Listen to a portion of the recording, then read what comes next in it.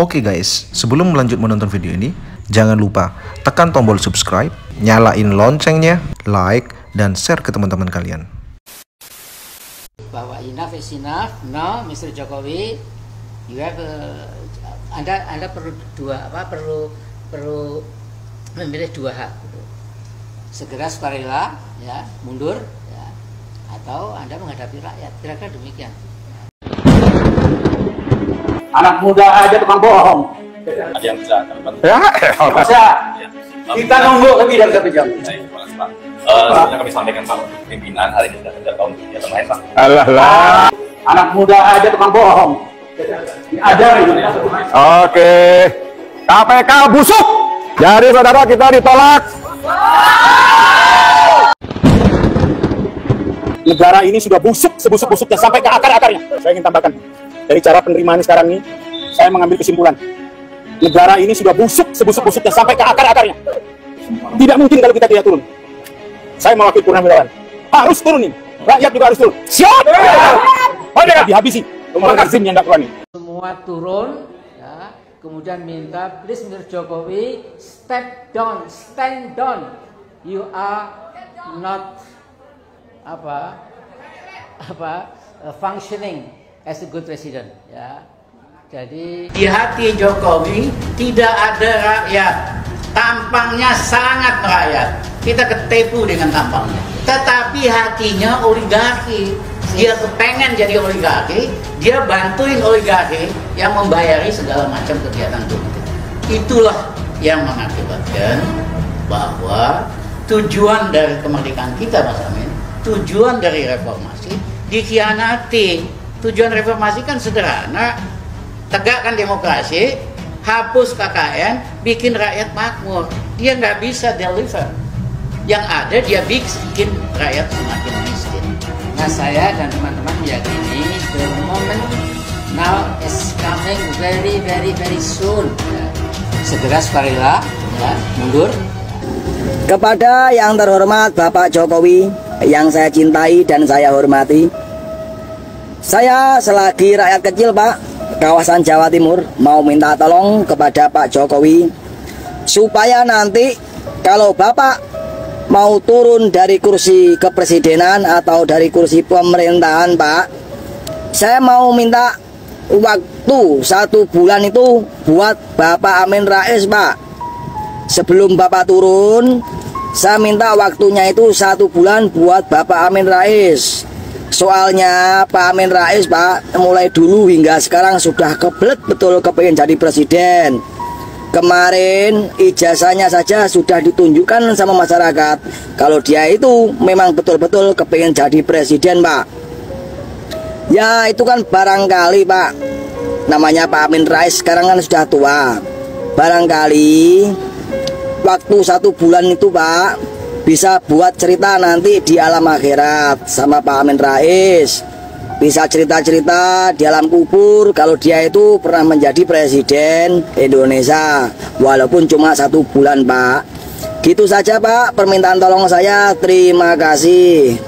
Ungkapan Vox Populi, Vox Die, the voice of the people, the voice of God. Dalam bahasa Arab, sautu syabi, sautullah. Ya. Jadi suara rakyat, penduduk adalah suara Tuhan. Tentu ini sebuah ekspresi dramatik karena tidak boleh manusia sebagai makhluk disamakan dengan Allah sebagai Al-Khaliq.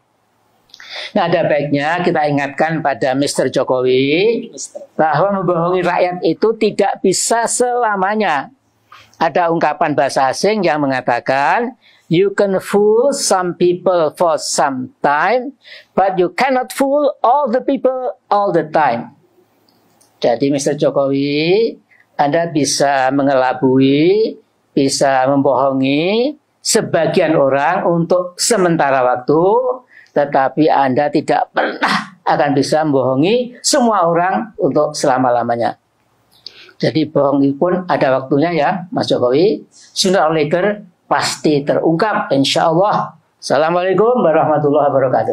Bagi sebagian yang menganggap masa depan kita akan diperbaiki dengan Pilpres, dengan pemilu 2024, ini memang salah satu jalan. Tapi tidak bisa kemudian menghalangi jalan yang lain termasuk people power ini. Kenapa? Tidak ada satupun yang dapat menjamin Pilpres dan pemilu 2024 benar-benar terjadi. Karena kekuatan people power ini tidak akan makin membesar kalau tidak kita terus gelorak. Sejujurnya bahwa presiden ini bermasalah. Jangan pura-pura, jangan mengatakan negeri kita baik-baik saja. Kita katakan dengan tegas bahwa negara kita sedang bermasalah, butuh perubahan, rakyat harus bergerak. People power. bahwa Jokowi itu ada penyakit yang namanya hate crime. Hate crime itu ancaman kebencian, itu hate crime. Itu sudah sudah menempel pada Pak Jokowi. Bapak sekarang marah. Kita semua marah. Situasi seperti ini. Itu yang kita tangkap dari pembicaraan beliau. Maka pada saat marah ini, kenapa marah? Sumber segala sumber kemarahan rakyat itu adalah karena imajinasi Jokowi yang sudah liar. Jokowi sudah tidak bisa mengontrol dirinya sendiri. Tidak bisa. Jangan lagi kita tergerus oleh politik identitas yang mereka lakukan. Yang nggak boleh itu memasukkan identitas, ijazah palsu, orang tua palsu. Ini yang nggak boleh. Kalau politik kita, identitas kita Islam, izhadu bi ana muslimin. Justru itu perintah Allah, tunjukkan kamu itu muslim. kalau DPR, DPD, MPR sudah ngelosor ya sudah tidak mau angkat kepala lagi berarti mengkhianati rakyat yang telah memilihnya kemudian sudah kita Joko Widodo ya ini orang Solo yang mula-mula seperti memberikan harapan ya. tapi lama-lama menjadi makin mendung makin gelap dan mungkin memang perlu dilengserkan ya. Saya ingin kita melihat pikirannya Denny Indrayana. Pikiran Denny Indrayana itu tentang pemakjulan sudah mewakili dua pikiran dari profesor ahli hukum tata negara. Ya. Satu Denny, yang kedua Jimli Asidik. Jimli Asidik memang agak beda dengan Denny. Jimli Asidik bilang Jokowi bisa dimakjulkan melalui kasusnya PK Muldoko. Tapi Denny Indrayana lebih luas lagi, bukan hanya PK Muldoko, tapi cawe-cawe Jokowi. Nah, saya tadi bilang kepada Bung Taufik agar ada konferensi ahli-ahli hukum untuk menyatakan bahwa Jokowi itu sudah pantas dimakjulkan. 20 Oktober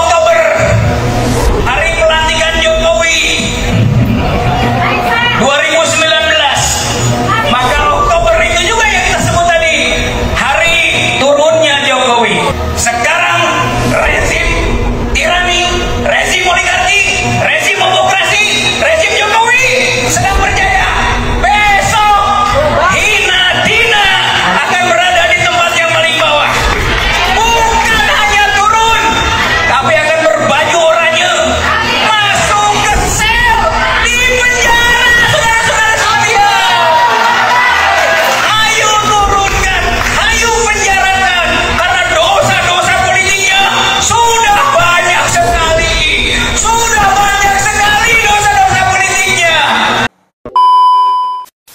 Ya guys, menjadi pemimpin itu memang tidak gampang ya, alias tidak semudah yang dibayangkan oleh uh, orang.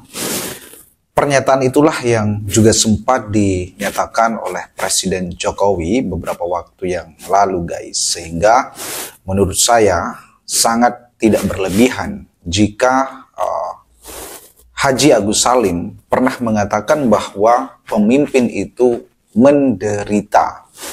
Karena apa pun yang dilakukannya guys, pastilah akan menuai pro dan kontra. Dan contoh nyata hari ini yang bisa kita lihat adalah apa yang telah terjadi pada Presiden Jokowi. Sebaik dan semaksimal apa pun yang beliau kerjakan guys untuk bangsa dan negara ini, pasti ada juga yang kontra atau bahkan membencinya. Dan itulah sebenarnya risiko dari seorang pemimpin.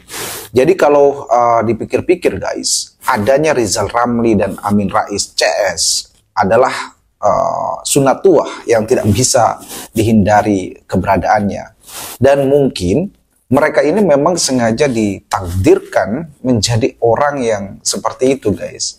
Yang kerjaannya selalu mencaci dan membenci Presiden Jokowi. Gimana guys kalau menurut kalian? Silakan tulis pendapat kalian di kolom komentar. Sekian video kali ini dan terima kasih.